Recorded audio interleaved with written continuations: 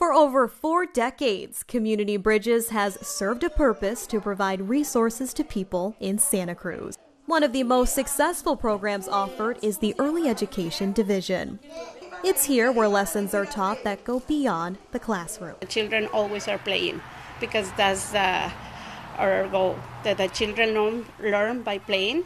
So all the activities that the teacher set up for them has an, a goal whether it's a song or an outside activity, teachers come up with interactive learning techniques to get kids up and moving both physically and mentally. The pandemic brought on many challenges to families.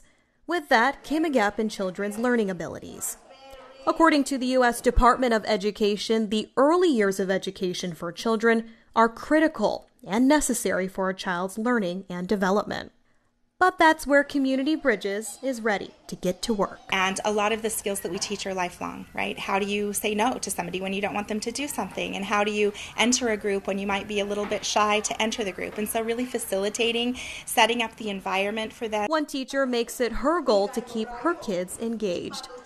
Margarita Castro sings, she reads books, and plays with her students. Every kid is different, and I learn from them from them and they learn from from I teach.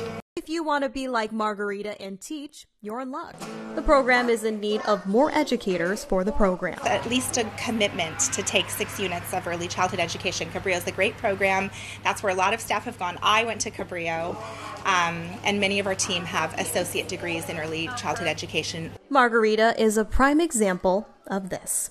My goal was I want to be a teacher. I'm going to pre- prepare in Cabrillo to be a teacher. Six centers in total are offered and made affordable for families. Information on the website gives you insight to more of the programs that are offered. My learning never stops, and I hope that's what we can ignite with our team, the staff here, and also the children and families we serve.